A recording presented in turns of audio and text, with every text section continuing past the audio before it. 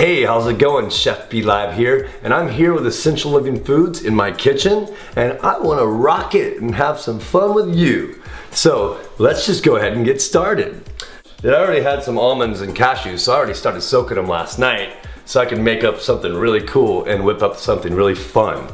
So they just brought some really cool products that I didn't really have any clue what they were bringing other than the almonds and cashews. So we're gonna have a little fun just co-creating something right now.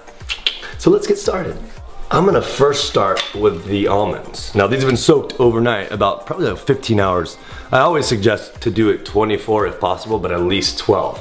So we're gonna throw these into the Cuisinart, and we're gonna use this along with some truly raw cashews.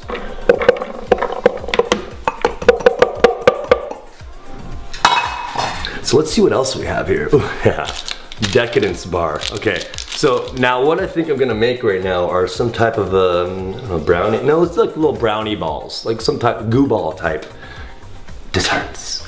So I'm gonna throw a decadence bar in there. I think it's kind of, probably seems kind of odd that I'm throwing a decadence bar into a food processor, but hey, I like playing around in many different ways, shapes, and forms. What next? Huh, Super Berry Symphony. Since I picked it up, let's try it. I always like gojis, mulberries, and gooseberries.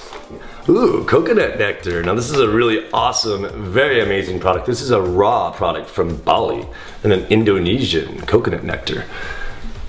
gotta love it. It's actually raw. Don't put too much in there. This is going to play a part as a liquid as well to help it blend and it'll also help it bind together. Vanilla powder, yeah, I'm gonna throw those in for show. Cacao nibs. Now I'm gonna put quite a bit. I love lucuma. So now I'm just going to food process this, homogenize it, blend it up really well, and then I'll taste it to see if we need to put anything else in. So now we're just gonna simply roll these into balls. I don't wanna make them too big.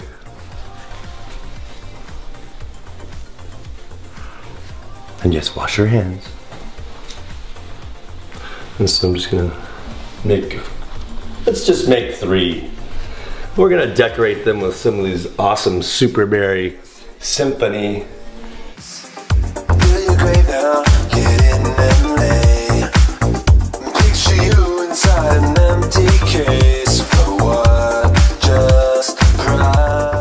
be sure to check out essentiallivingfoods.com where you can find recipes like this and many more.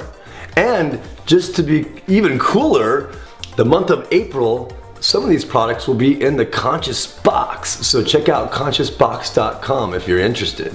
And if you want to find out more about me, you can go check out chefbelive.com. That's www.chefbelive.com. So rock on!